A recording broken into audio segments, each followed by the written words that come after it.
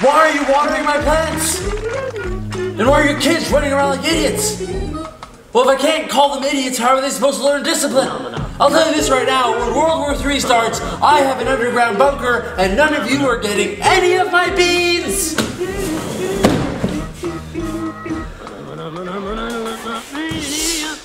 Nobody gets me.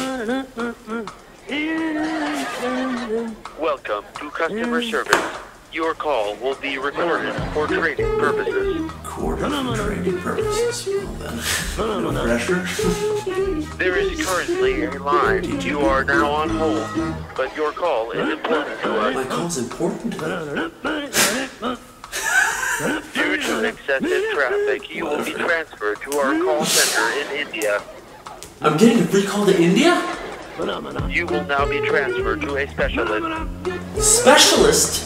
Dear Lord, I'm like George Clooney, but more special. Hello, my name is Kevin. I am your artificial intelligence specialist. How may I help you today? Question mark.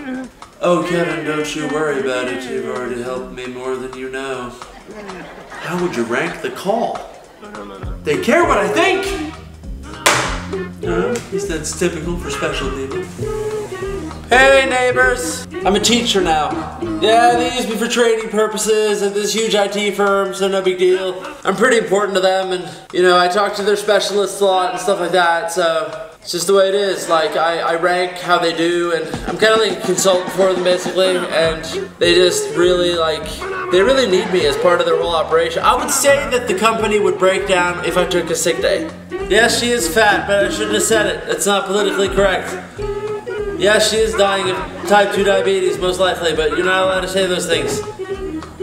At the funeral, we'll just be going, wow, she died young, but at least no one was offended. That's the most important thing. Who wants to come in for lemonade? It's for you.